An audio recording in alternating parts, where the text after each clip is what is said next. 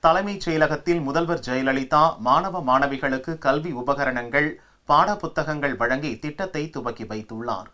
கோடை விடுமுறைக்கு பின் தமிழகம் முழுவதும் புதனன்று பள்ளிகள் திறக்கப்பட்டன. இதைத் தொடர்ந்து மாணவ மாணவிகளுக்கு கல்வி உபகரணங்கள் பாடப்புத்தகங்கள் உள்ளிட்ட உதவிகளை பள்ளி தொடங்கிய முதல் நாளிலேயே வழங்க முதல்வர் ஜெயலலிதா உத்தரவிட்டுள்ளார். பள்ளி கல்வித்துறை சார்பில் இரண்டாயிரத்து பதினாறு இரண்டாயிரத்து பதினேழாம் கல்வியாண்டுக்கான இந்த திட்டத்தை தலைமைச் செயலகத்தில் முதல்வர் ஜெயலலிதா மாணவ மாணவிகளுக்கு வழங்கி துவக்கி வைத்தார். பாடப்புத்தகம் நோட்டு புத்தகம் புத்தகப்பை கணித உபகரணங்கள் வண்ண பென்சில்கள் வரலாறு புவியியல் வரைபடங்கள் பள்ளிக்கு வந்து செல்ல சைக்கிள்கள் சீருடைகள் போன்றவற்றை வழங்கி தொடங்கி வைத்தார். நிகழ்ச்சியில் பள்ளிக் கல்வித்துறை அமைச்சர் ப. பெஞ்சமின் மற்றும் அரசு உயர் அதிகாரிகள் கலந்து கொண்டனர். ஏற்கனவே மாணவ மாணவிகளுக்கு அரசு சார்பில் பள்ளிக்கு வந்து செல்ல அரசு பேருந்துகளில் பயணம் செய்ய இலவச பேருந்து பாஸ் வழங்கப்பட்டு வருகிறது. இந்த கல்வியாண்டுக்கும் இலவச பஸ் பாஸ் வழங்க அரசு உத்தரவிட்டுள்ளது. புதிய பாஸ்கள் வழங்கப்படும் வரை பழைய பாஸ்களை பயன்படுத்திக் கொள்ளலாம் அல்லது பள்ளி சீருடை அணிந்து வந்தாலே டிக்கெட் தேவையில்லை என்று கண்டக்டர்களுக்கு அரசு அறிவுறுத்தியுள்ளது.